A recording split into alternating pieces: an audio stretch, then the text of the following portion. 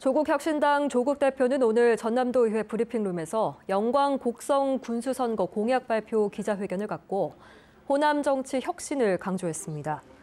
조 대표는 호남에서 재보궐선거가 반복되는 이유를 경쟁이 없었기 때문으로 진단하고 조국 혁신당이 조직세에서 압도적으로 밀리지만 도전한 이유가 거기에 있다고 밝혔습니다. 조 대표는 또 영광곡성 재보궐선거가 윤석열 정권 심판과 함께 호남 정치의 혁신에 있다며 호남 정치의 투명화, 효율화를 이뤄내겠다고 말했습니다. 유권자의 선택권을 넓히고 곡성 영광 발전의 시너지가 생기도록 조국혁신당과 민주당이 치열하게 경쟁해야 합니다. 조국혁신당과 민주당이 공정하게 경쟁해야 합니다. 국민들께 요구해 주십시오. 너희들 정당이 당당하게 경쟁해라.